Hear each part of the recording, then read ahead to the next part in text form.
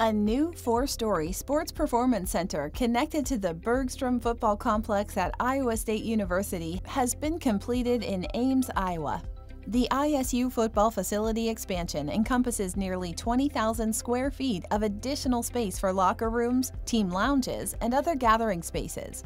Architectural Precast has a strong presence throughout the Jack Trice Stadium and surrounding complex, the end zone renovations incorporated architectural precast panels on the walkways, and the two finished buff-colored panels are showcased in the most recent renovations at the north end of the stadium. To match the rest of the existing facilities, precast concrete was chosen for the Sports Performance Center project. Because precast concrete can create nearly any color, finish, or texture, its use benefited the overall project and was essential to provide a cohesive appearance with the existing structures. Structural precast was utilized as a load-bearing element for the steel trusses, which run throughout the entire length of the new building and are supported by precast concrete wall panels.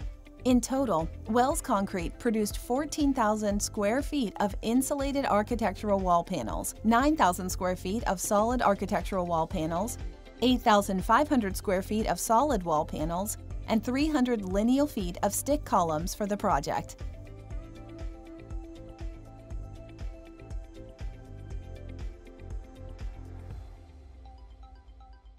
See more precast concrete projects at pcimidwest.org.